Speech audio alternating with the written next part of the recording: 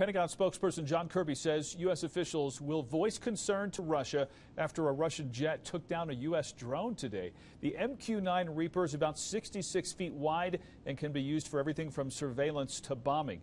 Today, one was flying over international waters off the Black Sea when a Russian jet flew in front of the unmanned drone and intentionally dumped fuel.